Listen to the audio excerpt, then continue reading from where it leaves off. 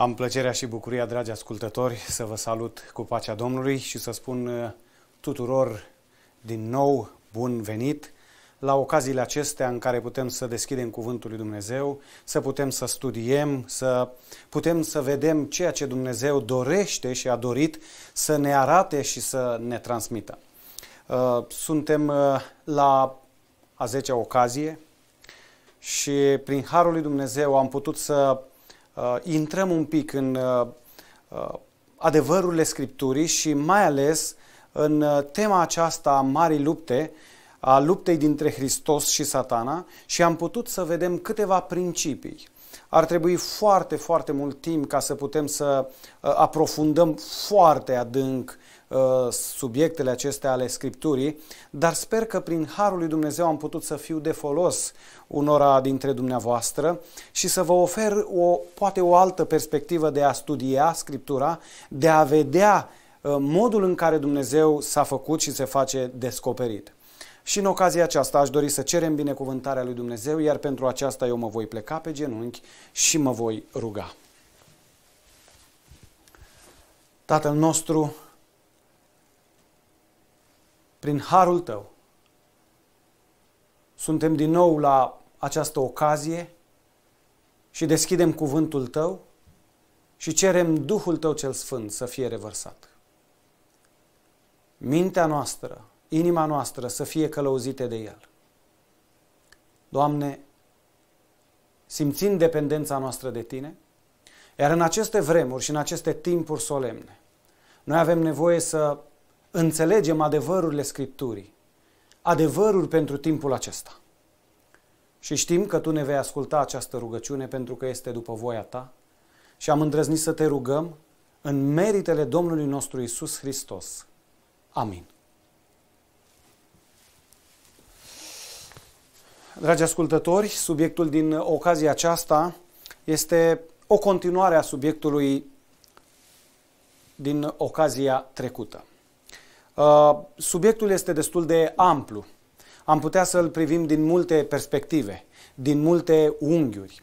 Și vreau să spun și în ocazia aceasta, uh, vor fi unele versete care uh, nu voi putea să ating absolut toate aspectele. Pe mine, în toată această serie, interesul a fost să înțelegem lupta dintre Hristos și satana și să putem înțelege soluția lui Dumnezeu. Și în ocaziile următoare aș vrea să aprofundăm care este planul lui Dumnezeu. Am tot insistat pe faptul că Dumnezeu l-a creat pe om după chipul său. Și în întreaga scriptură, tot ceea ce Dumnezeu a lăsat scris și toate exemplele și toate principiile și voia sa și legile sale au un singur scop și anume să refacă acest chip în noi. Caracterul lui Dumnezeu să fie refăcut în urmașii săi. Și am văzut exemple de oameni credincioși și necredincioși. Și l-am avut pe Cain și pe Abel. Apoi l-am avut foarte scurt, am amintit de Noe, care umbla cu Dumnezeu. De asemenea, am amintit și de Enoch, care la fel Sfânta Scriptură spune că Noe umbla cu Dumnezeu. Oameni în care Dumnezeu s-a descoperit generațiilor de atunci, iar Dumnezeu dorește același lucru înainte de revenirea sa. Și în fiecare generație, în fiecare timp, Dumnezeu a dorit ca oamenii să reprezinte caracterul său. Și caracterul său nu-l putem cunoaște decât în Sfânta Scriptură, în principiile și în legile pe care Dumnezeu ni le-a dat, pe care El ni le-a trasat, cărarea aceea pe care noi trebuie să mergem. Înapoi la turnul Babel este uh, titlul și continuă cu prezentarea de aseară, este o continuare a, prezentării, a prezentării din ocazia trecută, turnul Babel. Aș vrea să citim un prim verset care se găsește în Psalm la capitolul 33, versetele 13 la 15 și spune Domnul privește din înălțimea cerurilor și vede pe toți fiii oamenilor, din locașul locuinței lui. El privește pe toți locuitorii pământului. El întocmește inima la toți și ia aminte la toate faptele lor. Versetul acesta ne aduce în atenție faptul că Dumnezeu cunoaște absolut totul. Și Dumnezeu ia aminte la toate faptele lor. Este interesant, dragi ascultători. Știu că sunt persoane care nu cred că există un Dumnezeu. Îi alegerea dumnealor, respect întotdeauna alegerea fiecăruia și atunci când deschidem Scriptura, noi nu trebuie să o folosim ca să atacăm, să atacăm pe cineva, ci în uh, toate ocaziile acestea am încercat să dezbatem adevăruri. Chiar dacă oferim unele exemple, uh, toate acestea se încadrează în ceea ce spune Scriptura, dar fără a jigni pe cineva și în același timp lăsând libertatea ca fiecare să se închine cum dorește. Dar Scriptura ne spune că Dumnezeu privește din înălțimea cerurilor și vede pe toți fiii oamenilor. Nimic nu se întâmplă fără ca Dumnezeu să cunoască. Nici o faptă, mare sau mică, însemnată sau neînsemnată, toate acestea sunt consemnate uh, de Dumnezeu și toate faptele acestea într-o zi vor fi scoase la iveală. Am studiat în ocazia trecută despre generația de după potop și am văzut că avea o singură limbă, au pornit spre răsărit și au dat peste o câmpie în țara Șinear și am subliniat și în ocazia aceasta, pentru că iarăși vom vedea că locul acesta, ținutul acesta unde oamenii aceștia s-au așezat, unde ei au dezvoltat acele cetăți, unde le-au construit, unde au stăpânit teritoriul acela, începând de atunci a devenit un loc și un ținut care totdeauna s-a împotrivit lui Dumnezeu. A avut o falsă închinare, l-a dat pe Dumnezeu la o parte și a pus pe om, a pus alți Dumnezei, zei falși, în locul lui Dumnezeu.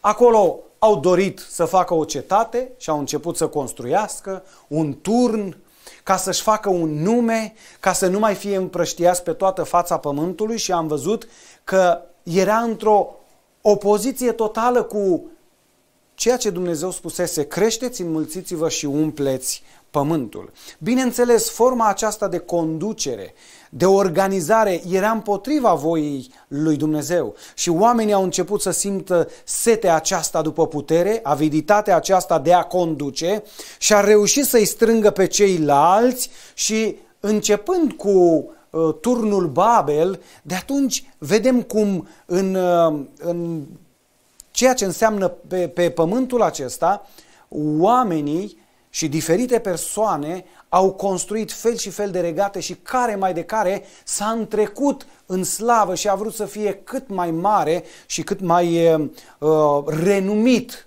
Și cu cât imperiul era mai mare, cu cât era mai bogat, cu atât oamenii aceia în general mergeau în nelegiuire mai mult și se răzvrăteau mai mult împotriva lui Dumnezeu. Și Dumnezeu i-a văzut, au zis, sunt un singur popor, au aceeași limbă și de ce s-au apucat, nimic nu i-ar împiedica să facă tot ce și-au propus. Haidem să ne coborâm și Dumnezeu le-a încurcat planul, le-a încurcat limbile și uh, turnul acela și planul care ei l-au făcut nu a avut izbândă. Cetatea a fost numită Babel, căci acolo a încurcat Domnul liba întregului pământ și am văzut ce înseamnă Babel, fie înseamnă confuzie, a amesteca, încurcătură, fie se mai traduce prin poarta zeilor. Acum, aș vrea să aduc în atenția dumneavoastră câteva versete din Psalmul numărul 2 și să ne gândim la ceea ce au făcut cei din timpul potop, de după potop. Vom vedea o altă istorie în ocazia aceasta care continuă cam în aceeași zonă și care cam pe aceleași principii merge, de răzvrătire, de împotrivire față de voia și de cuvântul lui Dumnezeu. Acum în psalmi, psalmistul ne spune pentru ce se întărâtă neamurile și pentru ce cugetă popoarele lucruri deșarte. Împărații pământului se răscoală și domnitorii se sfătuiesc împreună împotriva Domnului și împotriva unului unsului său zicând să le rupem legăturile și să scăpăm de lanțurile lor. Cel ce șade în ceruri râde. Domnul își bate joc de ei. Observăm în aceste cuvinte ale psalmistului David lupta aceasta dintre toți aceia care nu îl recunosc pe Dumnezeu. Popoarele, da, neamurile se întărâtă, popoarele cugetă lucruri deșarte, Împărații pământului se răscoală și domnitorii se sfătuiesc împotriva Domnului și împotriva unsului său, împotriva lui Dumnezeu și împotriva Fiului său, Iisus Hristos. Să le rupem legăturile, să scăpăm de lanțurile lor. Nu avem nevoie de autoritatea lui Dumnezeu, trebuie să-L scoatem pe Dumnezeu. Și aceasta este ținta și dorința celui rău. Și diavolul s-a folosit de-a lungul veacurilor de oameni, de oameni puternici, ca Nimrod și începând cu el într-un mod mult mai, mai eh, proeminent, da? apare această dorință de a stăpâni și de a supune și de a avea supuși care să facă doar ceea ce vrei tu. Avem o nouă ordine mondială concepută de Nimrod și de atunci încoace, dragi ascultători, foarte mulți împărați au dorit lucrul acesta. Au dorit ca să cucerească întregul pământ, să fie stăpân absolut al întregului pământ, imperiul lui, dacă se poate, să nu se sfârșească niciodată. Dar, Scriptura spune că Domnul stă în ceruri, râde, își bate joc de ei. De ce? Pentru că atât de simplu Dumnezeu le-a încurcat limba. Și când Dumnezeu vrea să le încurce planurile, Oricât s-ar strădui oamenii aceștia, împărații aceștia, mari comandanți, nu vor reuși nimic. Acum, dragi ascultători, mergem în capitolul 2 din Cartea Daniel, dar aș vrea să spun puțin contextul. Împăratul Nebucanețar a cucerit Ierusalimul, a luat de acolo prinși de război și Scriptura spune că după un timp el a avut un vis. Dar a uitat visul. Visul i-a, pierdut, i-a pierit din, din minte și i-a chemat pe toți înțelepții, pe toți cititorii, pe toți ghicitorii. Uh, ce vreau să mai menționez este că după ce el a luat prinși de război din Ierusalim, a dat poruncă și mai mulți tineri de viță boierească, de neam împărătesc, au fost aleși, au fost școliți, uh, educați în școlile acelea să învețe limba caldea, uh, haldeană. Uh, bineînțeles, ei aveau o educație din țara lor, nu erau chiar neînvățați, dar uh, în diferite ramuri ale științelor de atunci, Nebucanețar i-a școlit mai mult. Apoi au fost în slujba împăratului aleși dintre ei și Scriptura amintește pe Daniel, Anania, Mișael și Azaria. Dar când împăratul i-a chemat pe toți învățații și a spus, spuneți-mi visul pe care eu l-am uitat, aceștia au spus, împărate, noi nu putem să-și spunem. Uh, lucrul acesta doar zei, a căror locuință nu este printre noi. Uh, niciun împărat, cât de mare a fost el, nu a cerut așa ceva. Uh, spune-ne visul și noi îți vom da tălcuirea. Dar Nebucanețar, care ajunsese un dictator și care chiar în, în privința aceasta avea o cerință din aceasta absurdă, spus, eu vă plătesc degeaba pe voi. Dacă nu sunteți în stare să-mi spuneți visul, nu înseamnă că n-am niciun folos după urma voastră. Auzind uh, Daniel că a fost dată porunca ca acești înțelepți să fie nimiciți și printre aceștia, dar Daniel nu fusese acolo la, în fața împăratului, ar fi fost și Daniel pierdut, Daniel îi spune căpeteniei lui Nebucanețar, oștirii lui Nebucanețar, oprește porunca. Și Daniel merge și se roagă împreună cu prietenii săi și Dumnezeu îi descoperă visul acesta lui Daniel, iar Daniel merge înaintea împăratului și ascultați visul pe care Dumnezeu l-a descoperit lui Daniel și Daniel îl relatează acum lui Nebucanețar. Tu, împărate, spune Daniel, te uitai și ai văzut un chip mare. Și chipul acesta era foarte mare și de o strălucire nemaipomenită. Stătea în picioare înaintea ta și înfățișarea lui era înfricoșătoare. Capul chipului acestuia era de aur curat. Pieptul și brațele erau de argint. Pântecele și coapsele îi erau de aramă. Fluierele picioarelor de fier, picioarele parte de fier și parte de lut. Tu te uitai la el și s-a dezlipit o piatră fără ajutorul vreunei mâini, a izbit picioarele de fier și de lut ale chipului și le-a făcut bucăți. Atunci, fierul, lutul, arama, argintul, aurul s-au sfărmat împreună și s-au făcut ca pleava din arie vara. Le-a luat vântul și nici urmă nu s-a mai găsit din ele. dar piatra care sfărmase chipul s-a făcut un munte mare și a umplut tot pământul. Daniel, capitolul 2, versetele 31 la 35. Acum aș vrea să ne întoarcem puțin. Daniel îi relatează visul acesta care lui Nebucanețar i-a pierit din minte. Când Daniel l-a relatat, împăratul și-a adus aminte și a zis, da, exact acesta este visul. Dumnezeu a făcut ca lui Nebucanețar să-i piară visul acesta din minte, pentru că Dumnezeu a vrut să arate lui Nebucanețar, care era un urmaș al lui Nimrod, care era, da, rege peste ținutul acela, peste țara aceea Șinear, peste Babilon. El era acolo rege în imperiul acela, dar și în cetatea aceea Babilonului, cetate căreia îi pusese bazele Nimrod. Și Nebucanețar îl sfida pe Dumnezeu. Iar acum Dumnezeu a vrut să-i arate că de fapt El este Cel care conduce toate lucrurile.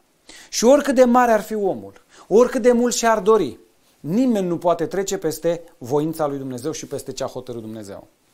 Acum aș vrea să ne uităm la visul acesta. A visat un chip, va trebui să ne grăbim un pic. Chipul acesta era din diferite metale. Și spune, capul era din aur. Pieptul și brațele erau de argint. Pântecele și coapsele erau de aramă. Și fluierele picioarelor de fier și jos, tălpile, picioarele erau parte de fier și parte de lut. Și în vis Nebucanețar se uita la chipul acesta și mai vede ceva. O piatră care fără ajutorul vreunei mâini omenești, fără ajutorul vreunei mâini, a izbit picioarele de fier de lut, deci a lovit chipul jos la bază, picioarele de fier și de lut și le-a făcut bucăți. Și atunci fierul, lutul, arama, argintul, aurul, deci de jos în sus, toate s-au sfărmat împreună, împreună și s-au făcut ca pleava din arie. Le-a luat vântul și nici urmă nu s-a mai găsit din ele. Dar piatra care sfărmase chipul s-a făcut un munte mare și a umplut pământul. Noi nu avem timp să ne, să, ne, să ne ocupăm în ocazia aceasta de visul acesta. Eu am adus înaintea dumneavoastră istoria aceasta pentru că aș vrea să înțelegem și să vedem cum s-a raportat Nebucanețar la ceea ce Dumnezeu i-a descoperit. Și vom vedea că Babilonul, vom vedea că Nebucanețar și înaintașii lui și urmașii lui au mers exact pe urmele lui Nimrod, au mers exact pe urmele celor de la turnul Babel, în răzvrătire față de Dumnezeu. Dar aș vrea foarte scurt. Este interesant ce spune aici Scriptura. Piatra aceea le-a lovit pe toate. Uh, noi știm că mai tare este fierul decât piatra. Și noi cu fierul spargem piatra, dăm cu ciocanul, dăm cu barosul, dăm cu dalta, dar Scriptura aici spune că o piatră a lovit chipul acesta și l-a făcut ca pleava și le-a luat vântul. Este interesant că aici este descoperită puterea lui Dumnezeu, este descoperită intervenția lui Dumnezeu. Exact cum spunea în, în capitolul 2 din Psalmi, cel ce șade în ceruri râde. Domnul își bate joc de ei. Și când Dumnezeu spune atât, tot ceea ce omul construiește, tot ceea ce omul dorește, într-o clipă se face praf. Îl ia vântul, se face ca pleava. Da? Vă dați seama, vântul să ia fierul, vântul să ia rama, vântul să ia argintul, să ia aurul. Aici este intervenția lui Dumnezeu. Acum, acesta este o reprezentare, este, aceasta este o reprezentare a acelui chip pe care l-a văzut uh, Nebucanețar. Cap de aur, piept și brațe de argint, pântece și coapsele de aramă, picioarele fier și jos tălpile, parte de fier și parte de lut. Dar visul acesta are și o tâlcuire și aș vrea să o citim destul de repede.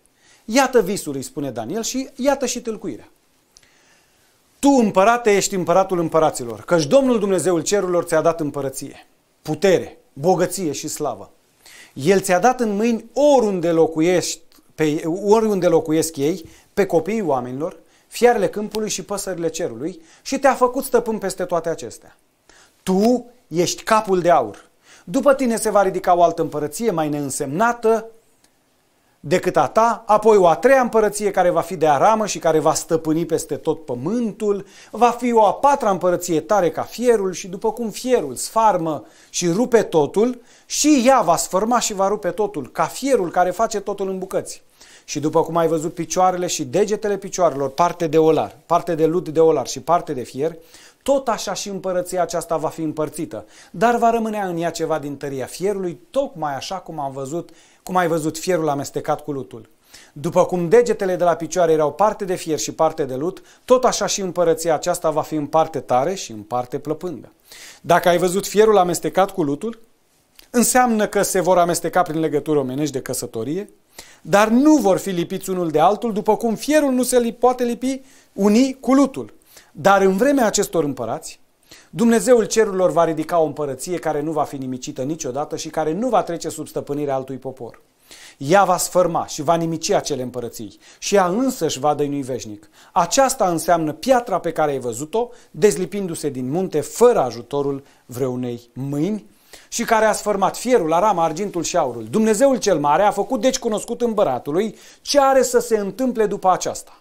Visul este adevărat și tâlcuirea lui este temeinică. Acum, prin Daniel, Dumnezeu îi face cunoscut lui Nebucanețar visul, dar și tâlcuirea lui. Și în această tâlcuire, Daniel îi spune împărate, tu ai ajuns la putere, stăpânire peste totul. Dumnezeu ți-a dat o mare slavă și putere și cinste și tu ești capul de aur. Și între toate metalele din care era format chipul, aurul este cel mai valoros, este cel mai prețios. Doar că Daniel continuă și spune, după tine se va ridica o altă împărăție. Numai că Nebucanețar nu dorea lucrul acesta. La fel cum Nimrod și cei din timpul lui de la turnul Babel n-ar fi dorit ca ei să nu poată continua și ar fi vrut ca împărăția, cetatea aceea să rămână veșnic dacă se poate. La fel nici nu-i Nebucanețar, nu i-a picat bine vestea aceasta. Cum adică? Să mai urmeze o altă împărăție? Păi mai este cineva atât de puternic? Este posibil ca vreo împărăție să se ridice și să cucerească ceea ce am făcut eu? Cetatea aceasta, zidurile acestea, ă, atât de bine păzită cetatea aceasta, porți zăvorâte. Dar Dumnezeu a zis clar. Împărate, va fi și o altă împărăție. Va fi mai neînsemnată și cum argintul în valoare este mai neînsemnat decât aurul, la fel a fost o altă împărăție, Medopersia, da? care a cucerit Babilonia. Nu ne ocupăm în detaliu de această profeție, dar vreau să înțelegem că Dumnezeu și-a luat timp, dragi ascultători, să descopere lui Nebucanețar și să ne descopere nouă istoria aceasta a derulării împărăților până la venirea lui Hristos. Babilonul, capul de aur. Medopersia, da, este brațele, pieptul și brațele de argint.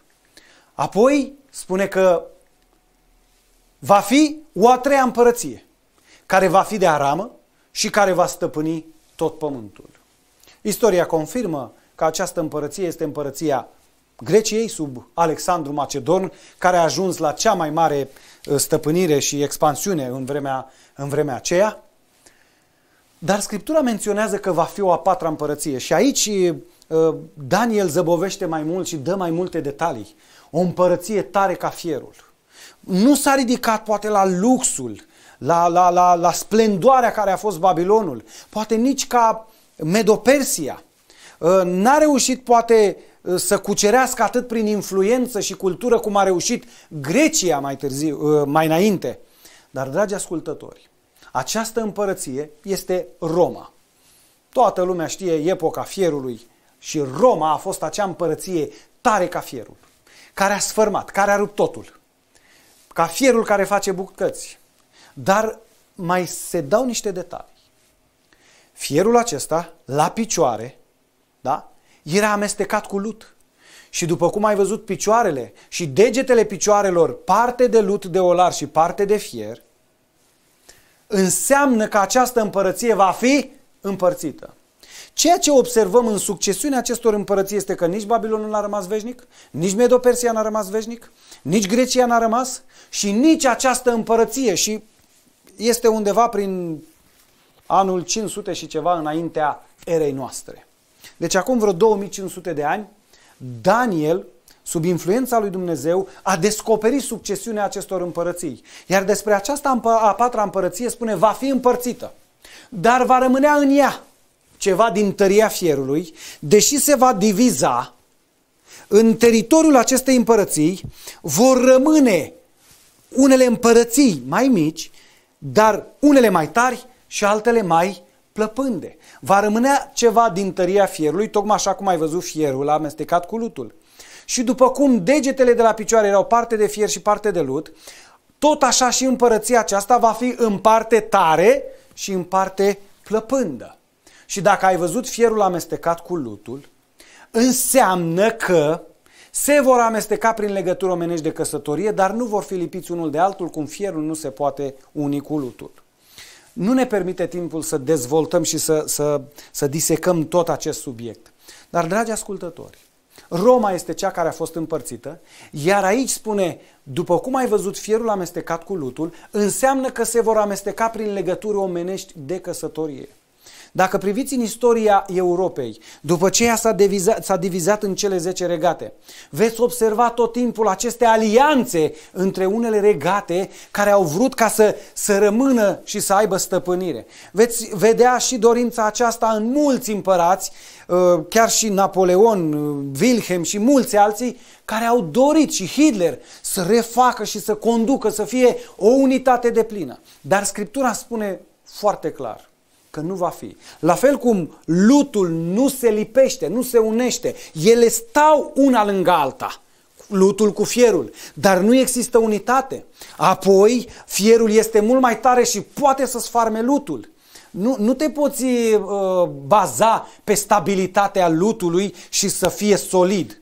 La fel aici vorbește despre această uh, Europa, am putea spune, da? Imperiul Roman, care apoi s-a divizat în cele 10 regate ale Europei, vor încerca prin tot felul de legături, dar nu vor fi lipiți unul de altul, cum fierul nu se lipește cu lutul. Vor sta unul lângă altul și putem vedea în istorie, dar niciodată n-a fost unitate. N-a fost unitate de plină între Germania și Franța, n-a fost unitate între Franța și, și Anglia, au fost rivalități sau Spania și alte. Nu, au fost întotdeauna rivalități și chiar și astăzi, dragi ascultători, când noi trăim în timpul Uniunii Europene.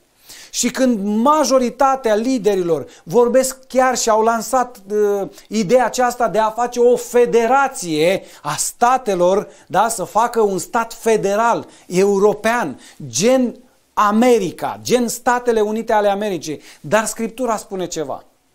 Nu va fi.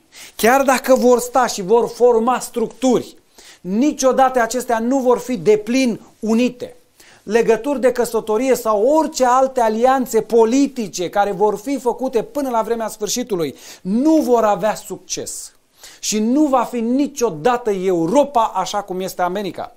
Nu va fi niciodată o unitate de plină în gândire și în acțiune, pentru că Dumnezeu a zis foarte clar, cum fierul nu se amestecă cu lutul, la fel ei nu vor putea. Apoi, întotdeauna în Europa vor fi state puternice tăria fierului și state plăpânde. Și priviți la ceea ce se întâmplă astăzi în Europa și chiar în interiorul Uniunii Europene. Deja de mai mult timp, unii lideri au, au uh, uh, lansat ideea aceasta a unei Europe cu două viteze, state da, dezvoltate și state mai puțin dezvoltate și nu intrăm în, în politică, dar vreau să, să înțelegem din aceste exemple, dragi ascultători, că Scriptura și Dumnezeu a spus ce se va întâmpla.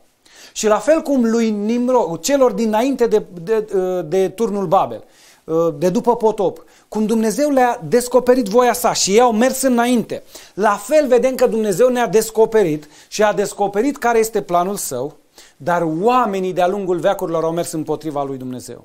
Dragi ascultători, sărim peste acestea. Acesta este chipul lui Nebucanețar. Aur, argint, aramă, fier și lut. Dar Scriptura ne spune că Nebucanețar a dat poruncă să fie făcut un chip de aur, de sus până jos. Și aceeași împotrivire pe care a avut-o Nimrod, pe care au avut-o cei la, de la turnul Babel, a avut-o acum Nebucadnețar și tot prin zonele acelea a ridicat acest schip, dragi ascultători. Da? În câmpia dura, dar tot cam pe ținutul acela stăpânit de babilonieni, de urmași aceștia ai lui Nimrod. Într-o sfidare fățișă, față de descoperirea lui Dumnezeu, Nebucadențar spune, eu nu vreau chipul acela, eu vreau ca totul să fie de aur, pentru că eu vreau să rămân veșnic. Acesta a fost dorința lui Nimrod, aceasta este dorința urmașilor lui și vreau să înțelegem că aceasta este dorința Babilonului și a Babilonului spiritual până la vremea sfârșitului. Întotdeauna a fost rivalitate între Babilon și poporul lui Dumnezeu. Și până când va veni Dumnezeu, va fi această rivalitate. Pentru că Babilonul vrea să-l dea pe Dumnezeu la o parte, pe de altă parte copiii credincioși ai lui Dumnezeu vor vrea să se închine așa cum le-a cerut el. Observăm, Dumnezeu i-a spus așa, aur, argint, aramă, fier și lut, dar Nebucadnețar spune nu. Și la turnul Babel Dumnezeu le-a zis, creșteți, înmulțiți-vă, umpleți pământul. Și i-au zis, nu, vrem să ne facem cetăți, turn, vrem să ne facem un nume, vrem să avem o altă guvernare, nu ne interesează de tine. Vrem să ne închinăm altfel și, dragi ascultători, păgâna, închinarea păgână, închinarea la soare și la toate izeități, își are originea aici. Începând de la turnul Babel încoace. Și Babilonul este vestit pentru toți zeii și pentru religia aceasta falsă. De aceea, el este un simbol până la final al opoziției față de Dumnezeu. Și termenul acesta de Babilon îl regăsim în cartea Apocalipsa, care Babilon luptă împotriva lui Dumnezeu. Deși Dumnezeu a spus nu se vor amesteca, chiar dacă vor încerca, da? la fel cum Dumnezeu a spus Nebucanețar, este din mai multe metale, el a zis eu vreau să fie din aur, la fel, dragi ascultători, se întâmplă astăzi. Oamenii din ziua de astăzi, liderii de astăzi, ei nu îi interesează, pe ei nu interesează de Dumnezeu. Ei îl dau pe Dumnezeu la o parte, nu interesează de această profeție, iar ei merg înainte cu planul lor. Priviți aici două imagini, să se dea mare pe, pe ecran. Aici este o pictură în stânga, este o pictură făcută de un pictor flamand, Peter Burgel. În dreapta este Parlamentul de la Strasburg, Parlamentul European. Uh, este interesant că are cumva cam aceeași structură. Dar acum veți spune că poate sunt eu da? conspiraționist sau folosiți alt termen.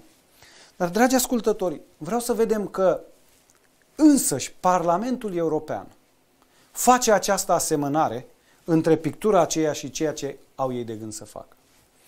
Ceea ce vedem în dreapta este pictura făcută undeva prin 1500 și ceva de uh, pictorul acesta flamand Peter Burgel, cel bătrân, iar ceea ce vedeți aici în dreapta este un afiș pe care Uniunea Europeană în 1980 l-a dat publicității.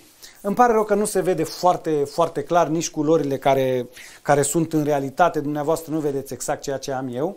Acum este mai mare pe, pe ecran. Deci în stânga este pictura, în dreapta este afișul care este inspirat din pictura lui uh, Peter Burgel, sau nu știu exact cum se pronunță, um, dar simbolizează turnul acela Babel. Pe aici sunt niște oameni care lucrează și ceea ce este interesant, aici jos în colț scrie așa. Europe, many tongues, one voice. Și anume, Europa, multe limbi, o singură voce. Și afișul acesta, ceea ce vedeți aici, este dat publicității de Uniune, de Consiliul European în anul 1980. Acum și simbolistica este destul de interesantă dacă priviți aici la stelele acestea, pentagrama întoarsă invers, care nu este decât un simbol al, al țapului, al lui Bafomet. Și priviți aici imagine, aici este o imagine cu, cu Bafomet. Uh, Bafomet este un zeu androgen care poate fi și feminin și masculin, nu avem timp, Dar în spate, dacă sunteți atenți între coarne, de asemenea este simbolul acesta al stelei acelea, pentagrama, cu uh, pentagrama, este exact chiar ca un, ca un, uh, ca un țap. Putem privi aici barba, da? coarnele, exact. Acesta este o statuie reală, priviți persoane care uh, se fotografiază. Uh, mai nou și de curând a fost uh, amplasate mai multe statui chiar și prin, uh, prin țara noastră, prin București. Puteți vedea și uh, semnele care le fac cei care stau pe lângă acesta. Este un simbol al celui rău. Nu are rost să ne depărtăm de la uh, subiectul nostru, dar, dragi ascultători, vreau să înțelegem că oamenii aceștia, Consiliul European, da? prin afișele acestea pe care le publică, ei spun de fapt ceea ce doresc. Ei, nu eu. Europa, multe limbi, o singură voce. O singură voce. Atunci toți aveau aceleași cuvinte. Dar ei ce au zis? Nu ne interesează de ce a zis Dumnezeu. Nu ne interesează că Dumnezeu a zis că nu vom fi lipiți, că nu vom fi uniți. Noi vrem, chiar dacă suntem multe limbi, o singură voce să fim. Simbolistica arată clar cui vor să slujească, uh, fotografia aceasta, poza aceasta pe care ei au luat-o, turnul acesta, ei ce vor să spună? Vom construi, mergem înainte. Uh, de mai mult timp, mai bine de 10 ani, uh, dar în ultimii 2-3 ani de zile, mai ales odată cu pandemia, a devenit foarte proeminent sloganul acesta Build Back Better reconstruim mai bine, reconstruiește, dar fă-o bine. Da? Și vedem peste tot și în toate campaniile de, de, de ce înseamnă la alegeri uh, electorale, toți folosesc și în toate marile întâlniri se folosește termenul acesta Build Back Better. Aici am un video cu mai multe personalități din lumea politică și la toți veți auzi termenul acesta și sloganul acesta rostit, Build Back Better, să reconstruim, să re... Dar întrebarea este, ce să reconstruiești? Ce să reconstruiești mai bine? Cumva ei vor și au un plan și diavolul n-a renunțat la planul de la turnul Babel și putem să privim turnul Babel. A trecut mai departe pe la Nebucadnețar care a avut aceeași dorință, nu mă interesează de Dumnezeu. Și rând pe rând, alte imperii, da? Fiecare a fost medopersan, grec, roman, toți și-au dorit să aibă ei puterea și să dețină controlul. Și oamenii de astăzi politici doresc același lucru, numai că aceasta este împotriva a ceea ce Dumnezeu a dorit, împotriva a ceea ce Scriptura spune și ei nu vor reuși mai mult decât le îngăduie Dumnezeu. Aș vrea să ascultăm și să vedem acest, acest video. It's a very pertinent question to ask how do we build back better? To build back better or whatever. We have a chance to reset the clock and build back better than before. To build back better than before. Remember the, the terrible damage of COVID as we try to build back from this uh, global pandemic. Joe Biden calls it Build Back Better. Build Back Better. Building back better. To do things differently. To build back better. We're going to build it back better. And build it back better. It's My plan to build back better. Uh, start taking all the problems that have been created in right. education and mental health and start to, to build back in a positive way. I have launched a booklet called Build Back Better Britain After Coronavirus. It's about building this country back better. Growing conspiracy following it. It is called the Great Reset. An unprecedented opportunity to rethink and reset the ways in which we live. The great opportunity for reset the theory even calls Mr. Biden's campaign slogan, Build Back Better, a front for the conspiracy. Build Back Better. Building back better our economy. Build back better. All elements of the Great Reset are fundamental to building the future we need. This pandemic has provided an opportunity for a reset. It's a big effort to, some would say, to build back, back better.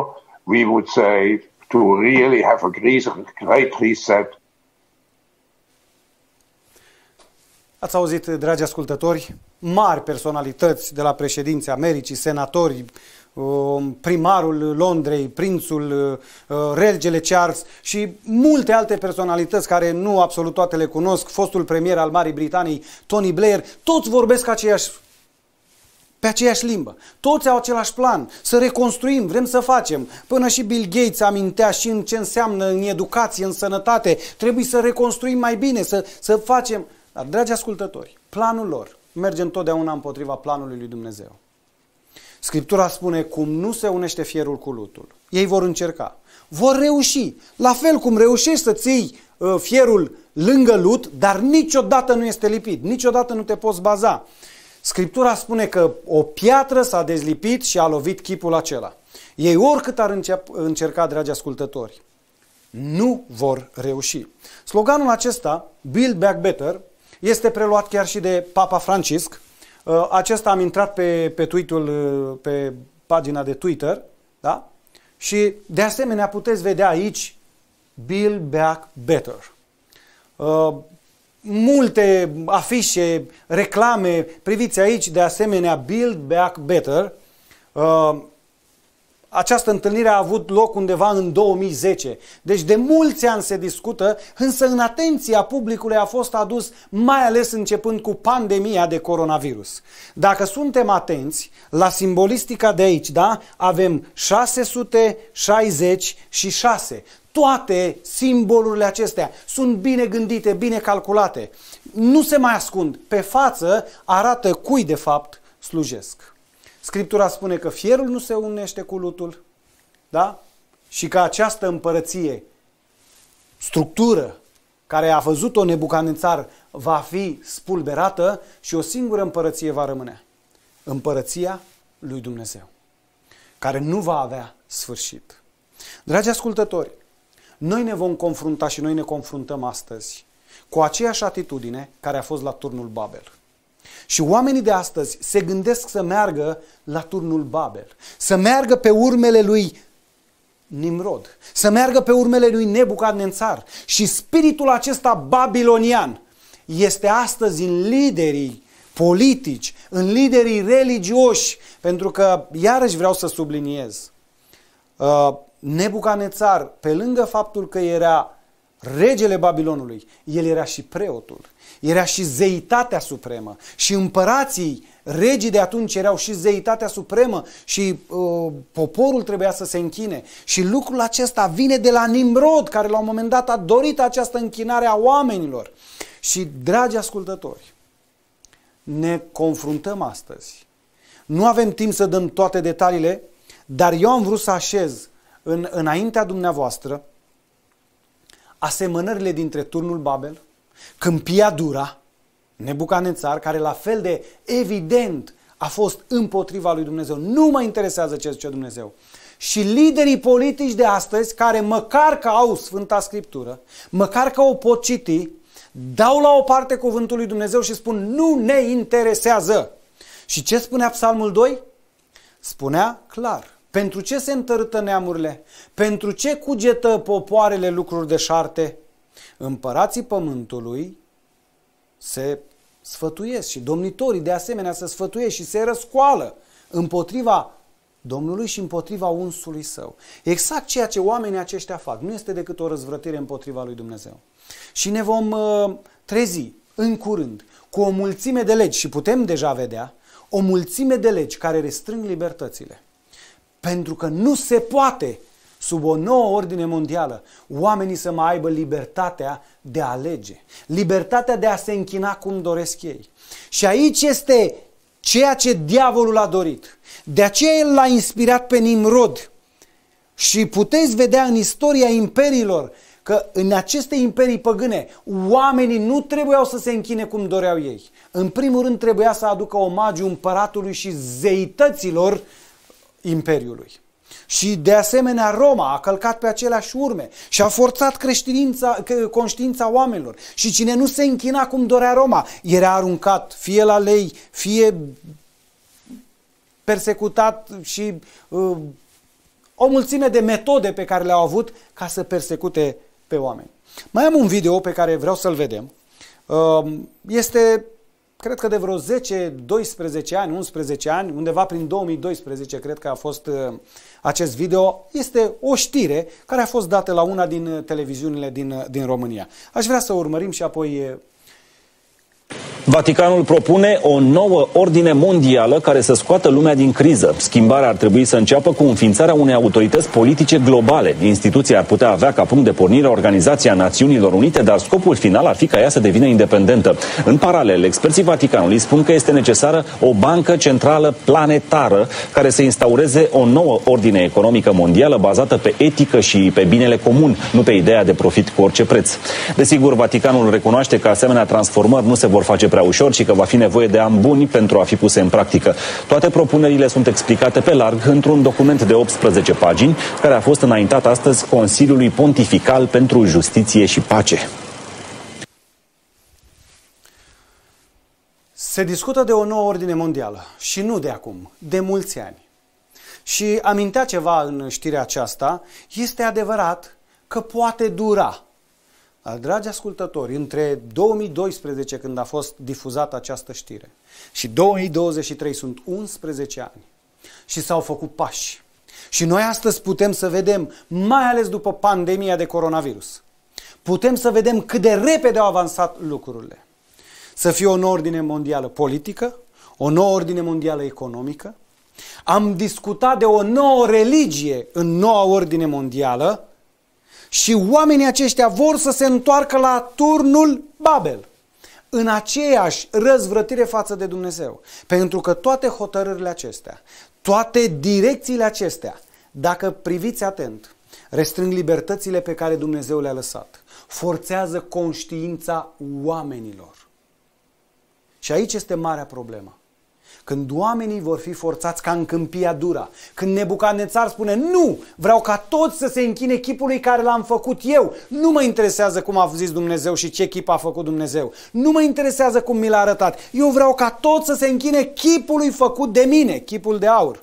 Cunoașteți istoria, o găsiți în Daniel 2, dacă este puteți să, să citiți, în Daniel 4, apoi în Câmpia Dura, în capitolul 2 este uh, relatat visul, dar istoria merge în capitolele acelea. El s-a răzvrătit împotriva lui, lui Dumnezeu. La fel și astăzi, dragi ascultători.